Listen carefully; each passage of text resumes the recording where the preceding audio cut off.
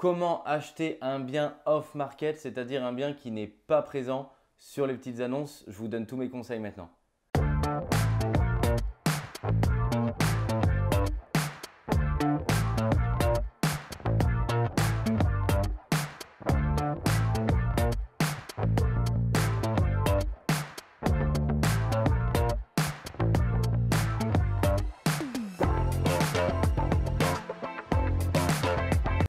Bonjour à tous, je m'appelle Mickaël Zonta, je dirige la société investissementlocatif.com. Je suis très heureux, je me trouve aujourd'hui dans un appartement dont on vient de faire la sortie de chantier pour un de nos clients qui a fait beaucoup beaucoup d'appartements. Je crois qu'il a fait en tout 13 euh, lots, il y a pas mal de découpes en à peu près deux ans.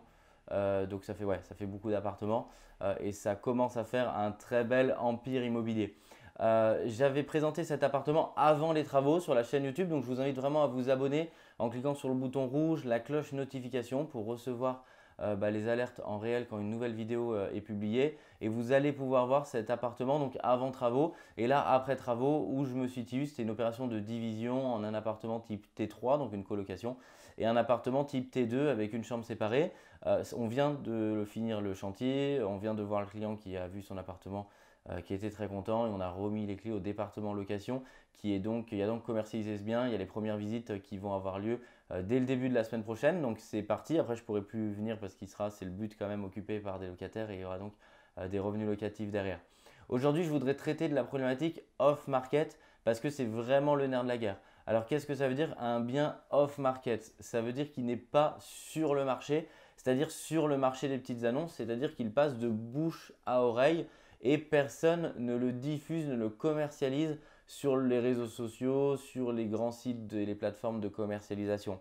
Euh, aujourd'hui, chez investissementlocatif.com, euh, la société que je dirige, où on accompagne des investisseurs, comme on vient de le faire ici sur cette opération, hein, sur l'intégralité, euh, c'est plus de la moitié hein, dans les stats, c'est entre 60 et 70% de nos achats qui sont faits en off-market pour nos clients. Ça veut dire que les biens ne sont initialement pas présents sur des supports internet. Alors, comment est-ce qu'on fait pour arriver à ce pourcentage? Comment est-ce qu'on travaille et les chasseurs travaillent tous les jours pour euh, que ce, soit, ce pourcentage soit encore plus haut euh, Et comment est-ce que vous pouvez, vous, arriver à acheter des biens euh, off-market? La raison vraiment numéro une et la règle, je dirais numéro une, c'est d'avoir du réseau. Alors, c'est un peu facile quand je dis ça. Qu'est-ce que ça veut dire avoir du réseau et comment vous, vous pouvez l'appliquer sur vous-même pour votre projet immobilier? Moi, je dis toujours, si vous habitez dans une certaine rue, il faut que vous connaissiez parfaitement par leur prénom si vous voulez aboutir à ce résultat. Bah, au minimum, et ça sert à rien qu'il y en ait 20 quand, vous voulez acheter quelques lots pour vous, les trois agents immobiliers, soit de votre quartier si vous voulez acheter dans votre quartier, soit du quartier dans lequel vous voulez devenir propriétaire et acheter un investissement locatif. Il faut vraiment que vous les connaissiez parce que c'est ça qui va vous permettre qu'ils pensent à vous quand ils référencent un bien. Nous, sur ce pourcentage, soit, par exemple 60% de biens qu'on achète off-market, euh, bah, les chasseurs chez Investissement Locatif connaissent ces personnes-là, ces directeurs d'agence immobilière, ces notaires, ces avocats, ces marchands de biens par leur prénom. Euh, et quand un bien arrive dans les mains de cette personne, il sait directement, il va directement penser euh, à l'un de mes salariés, à l'un de mes chasseurs, parce que bah, c'est un travail de terrain. Ils sont allés les voir, ils ont déjeuné avec eux, ils ont pris un café avec eux, ils ont fait de la pédagogie, faites de la pédagogie. C'est vraiment pour moi la règle numéro 2. C'est, ça ne sert à rien qu'ils vous connaissent s'ils ne savent pas ce que vous recherchez.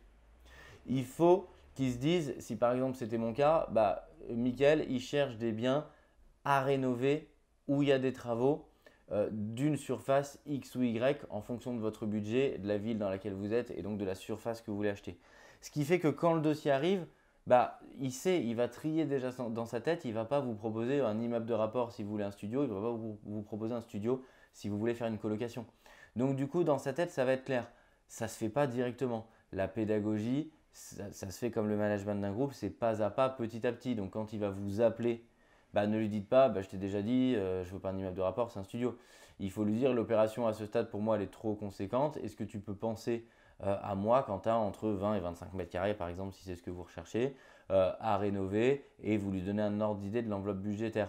Comme ça, il colle sur votre numéro de téléphone et sur votre tête, sur votre nom, un produit correspondant et ça permet que quand le produit arrive, il pense à vous et il vous met au-dessus de la pile.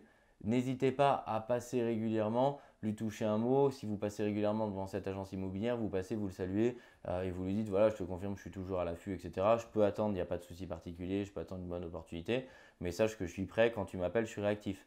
Pourquoi? Parce que on a l'impression que c'est simple et que c'est tout bête, mais il y a quasiment personne qui le fait.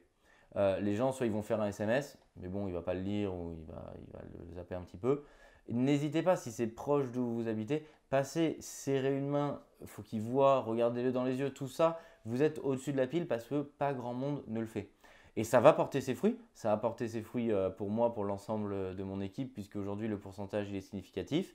Et ensuite, bien sûr, bah, les gens euh, changent de travail, changent de métier, changent de ville. Donc ce réseau, il est pour nous sans cesse à entretenir pour référencer de nouvelles personnes, et puis parce que des personnes s'en vont, donc le réseau sinon diminuerait, de manière à avoir toujours un excellent réseau et une source euh, euh, d'apporteurs d'affaires. Le troisième point pour moi, c'est d'être crédible. C'est-à-dire qu'il y a un moment, si le bien il correspond à ce que vous recherchez, ne mettez pas six semaines à lui dire oui, euh, vous voulez acheter, soyez suffisamment réactif. Il en va de votre crédibilité. Si il, a fait son travail, il vous a sourcé un bien qui est décoté, qui est au très bon prix et qui est quasiment largement en dessous du marché, il faut bien entendu toujours lui demander s'il y a une louche supplémentaire. Maintenant, s'il vous dit bah, c'est mort, c'est sûr, parce que vous le savez, vous le voyez et vous êtes d'accord avec lui, le bien est super décoté, et bah, ne mettez pas 8 jours à réfléchir, à dire bah, peut-être que je vais faire une offre à 1000 euros en dessous, parce que dans sa tête, il va dire bah non, là il me saoule, là c'est pas logique. Là j'ai été, été faire, j'ai été juste, je vais trouver un bien, euh, le bien il est décoté, et à ce moment-là, si vous le menez en bateau, il ne vous rappellera pas, c'est terminé. Donc il y a un moment, il faut être aussi crédible avec vous-même.